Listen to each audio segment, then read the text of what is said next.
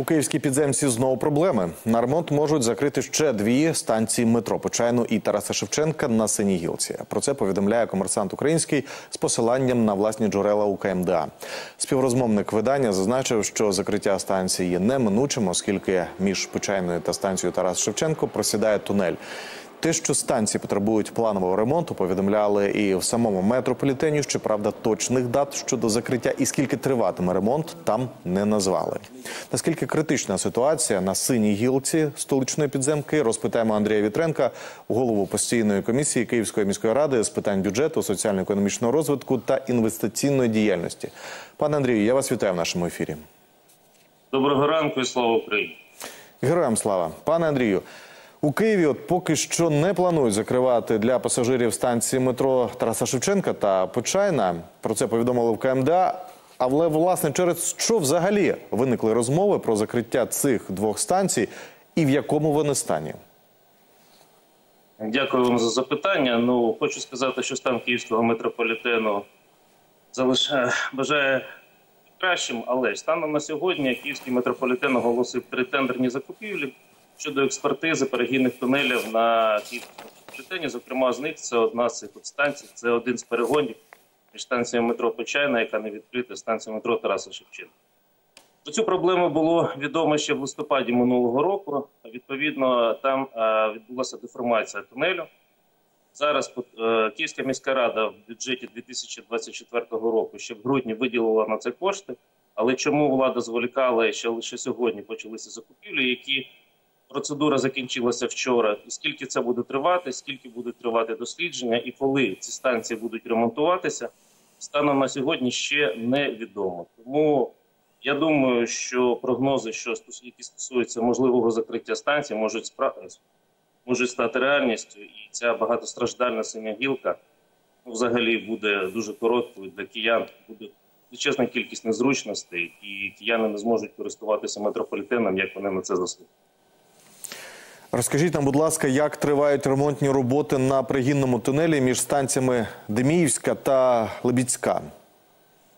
Ну, станом на сьогодні там ідуть е, будівельні роботи відбуваються е, роботи як всередині перегонного тунелю, так і зовнішнього його розкривають для того, щоб е, подивитися, взагалі, що там відбувається.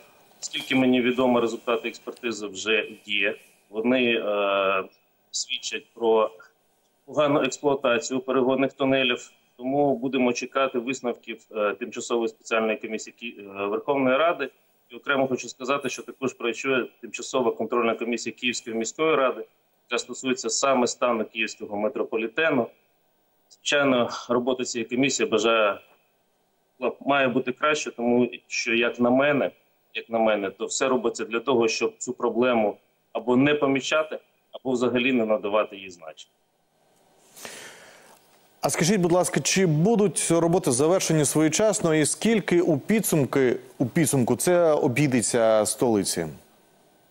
Що стосується е, тривалості будівельних робіт е, єдиного погляду на це питання немає. Е, Київська міська влада заявляла, що е, ремонту взагалі потрібно півроку, але ми бачимо, що ремонт до середини ще й не дійшов. А вже у нас майже 4 місяці з дня цієї аварії пройшло. Інша інформація була, що в липні вже відкриються перегінні тунелі. Але за нашою інформацією, ми можемо очікувати запуск метро не раніше ніж Е, не раніше ніж пізня осінь.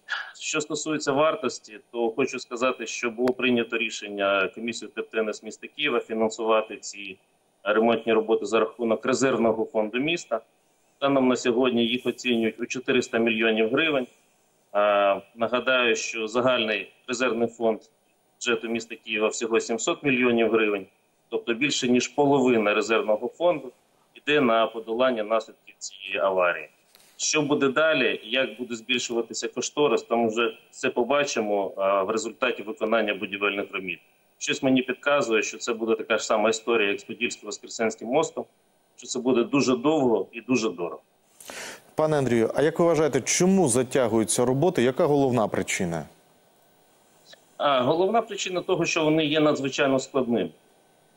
Це велика інженерна споруда. Будівництво метрополітену взагалі потребує великої кількості спеціалістів, великої кількості спеціалізованої техніки, яка на сьогодні, ви знаєте, знаходиться в дефіциті, як і спеціалісти, які вміють будувати метрополітен.